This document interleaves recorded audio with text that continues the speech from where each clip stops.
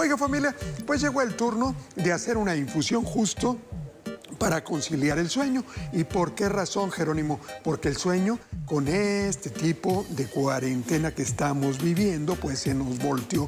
Me acuesto a diferentes horas, me levanto a deshoras y ya no concilió el sueño, Jerónimo.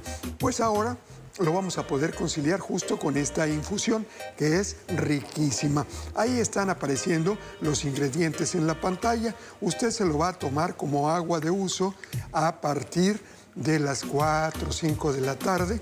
Va a tomar esta infusión de preferencia tibia y le va a ir muy bien. Un litro y medio de agua.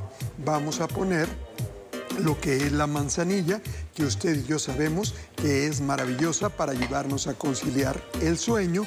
Luego vamos a poner las hojas de naranja, vamos a poner unas 3, 4 hojas de lechuga. Algo que le va a sorprender familia es que voy a poner la cáscara de plátano. Recuerde que hay que lavar todo perfectamente antes de ponerlo. Y luego voy a poner el perejil. Esto lo vamos a dejar que vaya hirviendo. Yo ya había preparado la mía.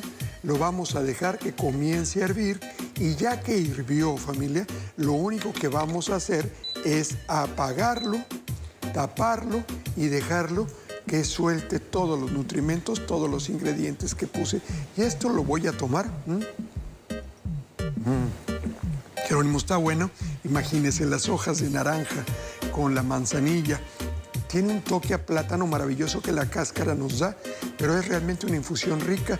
Ya le decía, después de las 4 de la tarde, tómese dos, tres tacitas, antes de dormirse otra tacita y le puedo garantizar que le va a decir adiós al insomnio. Y de esa manera, aparte de que vamos a tener sueño, lo que estoy tomando son polifenoles, porque todo lo que puse fue de color verde, entonces los polifenoles son antioxidantes muy potentes que nos van a ayudar a transportar oxígeno en nuestra sangre y lógicamente los beneficios van a ser muchos, muy buenos, incuantificables. Así que a poner en práctica esta infusión que créame, le va a encantar a usted y a toda la familia porque tiene un...